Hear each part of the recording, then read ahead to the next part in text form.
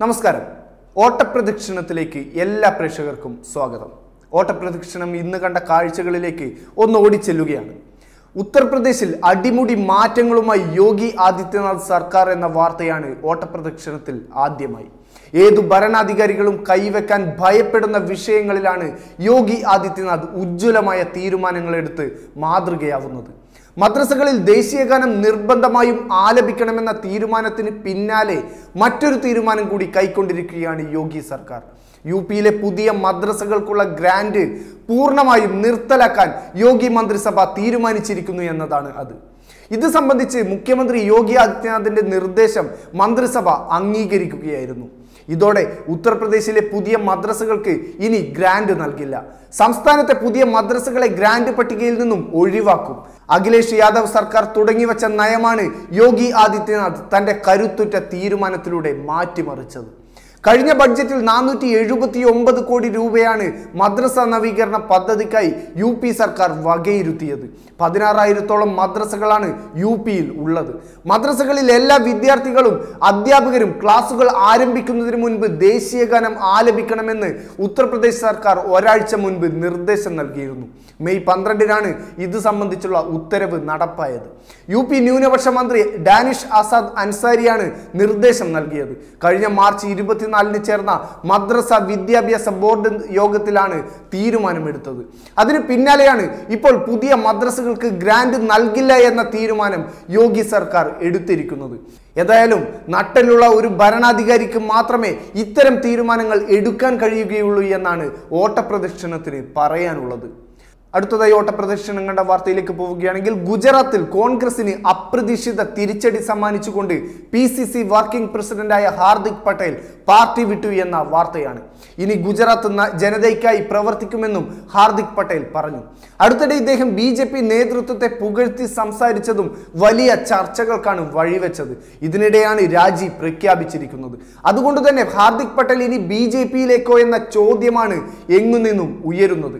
ഇത് സംബന്ധിച്ച് യാതൊന്നും തന്നെ ഹാർദിക് പട്ടേൽ വ്യക്തമാക്കിയിട്ടില്ല എങ്കിലും അത്തരമൊരു സാധ്യത തള്ളിക്കളയാനാവില്ല എന്നാണ് രാഷ്ട്രീയ നിരീക്ഷകർ വിലയിരുത്തുന്നത്. കോൺഗ്രസ് ഉന്നത നേതാക്കൾ ഹാർദിക്കുമായി ചർച്ചയ്ക്ക് ശ്രമിച്ചിരുന്നു എങ്കിലും ഫലം കണ്ടിരുന്നില്ല. നിയമസഭാ തെരഞ്ഞെടുപ്പ് നടക്കാനിരിക്കുന്ന സാഹചര്യത്തിലാണ് ഹാർദിക് പട്ടേൽ പാർട്ടി വിട്ടത് എന്നതും ശ്രദ്ധേയമാണ്. പാർട്ടി വിട്ടതിനു ശേഷം കോൺഗ്രസിനെതിരെ രൂക്ഷമായ ആരോപണങ്ങളാണ് അദ്ദേഹം ഉന്നയിച്ചത്. രാജ്യത്ത് ആവശ്യമുണ്ടായിരുന്ന സുപ്രധാന സമയത്തൊക്കെയും രാഹുൽ ഗാന്ധി വിദേശത്തായിരുന്നു എന്ന് രാഹുൽ ഗാന്ധിക്കെതിരെ കടുത്ത ഭാഷയിൽ ഹാർദിക് പട്ടേൽ വിമർശിക്കുകയുണ്ടായി. കോൺഗ്രസിൽ നിന്ന് രാജിവെച്ചതിന് പിന്നാലെയാണ് ഹാർദിക് രാഹുലിനെതിരെയും പാർട്ടി നേതൃത്വത്തിനെതിരെയും രംഗത്തെത്തിയത്. മുതിർന്ന നേതാക്കളുടെ ശ്രദ്ധ ഫോണിലാണെന്നും സംസ്ഥാനത്തെ കോൺഗ്രസ് നേതാക്കൾക്ക് താല്പര്യം ഗുജറാത്തിലെത്തുന്ന നേതാക്കൾക്ക് ചിക്കൻ സാൻഡ്വിച്ച് ഉറപ്പാക്കുന്നതിലാണെന്നും ഹാർദിക് പറഞ്ഞു. ഗുജറാത്തിനെ സംബന്ധിക്കുന്ന വിഷയങ്ങൾ കേൾക്കാൻ മുതിർന്ന നേതാക്കൾ താല്പര്യം കാണിച്ചില്ല. ഞാൻ അവരുമായി കൂടിക്കാഴ്ച നടത്തിയപ്പോൾ അവരുടെ ശ്രദ്ധ ഫോണിലായിരുന്നു. സംസ്ഥാനത്തെത്തുന്ന നേതാക്കളെ സന്ദർശിച്ച് അവർക്ക് ചിക്കൻ സാൻഡ്വിച്ച് ഉറപ്പുവരുത്തുന്നതിലാണ് ഗുജറാത്തിലെ മുതിർന്ന നേതാക്കന്മാർക്ക് കൂടുതലും താല്പര്യം നമ്മുടെ നേതാവിനെ രാജ്യത്ത് ആവശ്യമുണ്ടായിരുന്ന സുപ്രധാന സമയത്ത് അദ്ദേഹം വിദേശത്തായിരുന്നു. ഗുജറാത്തിനെ ഇഷ്ടമല്ലാത്തതിനാൽ കോൺഗ്രസ് നേതൃത്വവും യാതൊരു താല്പര്യവും കാണിക്കുന്നില്ല എന്നും ഹാർദിക് പട്ടേൽ പറഞ്ഞു.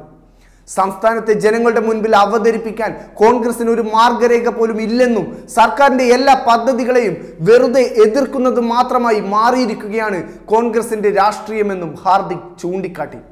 അങ്ങനെ നിയമസഭാ തിരഞ്ഞെടുപ്പിന് മുൻപേ തന്നെ ഗുജറാത്തിൽ കോൺഗ്രസ് പൂർണമായും തകർന്നടിഞ്ഞിരിക്കുന്നു എന്നാണ് ഓട്ടപ്രദക്ഷിണം ഈ വാർത്തയിലൂടെ മനസ്സിലാക്കുന്നത്.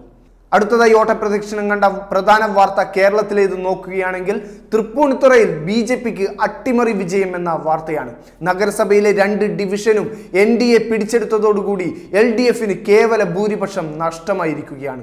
ഇളമനത്തോപ്പിൽ എൻ ഡി എയുടെ വള്ളി രവി മുന്നൂറ്റി അറുപത്തിമൂന്ന് വോട്ടും പിഷാരിക്കോവിൽ എൻ ഡി എയുടെ രതി രാജു നാനൂറ്റി അറുപത്തിയെട്ട് വോട്ടുകളും നേടിയാണ് വിജയിച്ചത്. എൽ ഡി എഫ് കൗൺസിലർമാരുടെ മരണത്തെ തുടർന്നാണ് ഇവിടെ തെരഞ്ഞെടുപ്പ് വേണ്ടി വന്നത് നാൽപ്പത്തി ഒമ്പത് അംഗങ്ങളുള്ള നഗരസഭയിൽ എൽ ഡി എഫിന് ഇരുപത്തിമൂന്ന് അംഗങ്ങളുടെ പിന്തുണയുണ്ടായിരുന്നു. കേവല ഭൂരിപക്ഷം നഷ്ടമാക്കിക്കൊണ്ട് പാർട്ടിക്ക് ഇരുപത്തിയൊന്ന് സീറ്റായി കുറയുകയായിരുന്നു.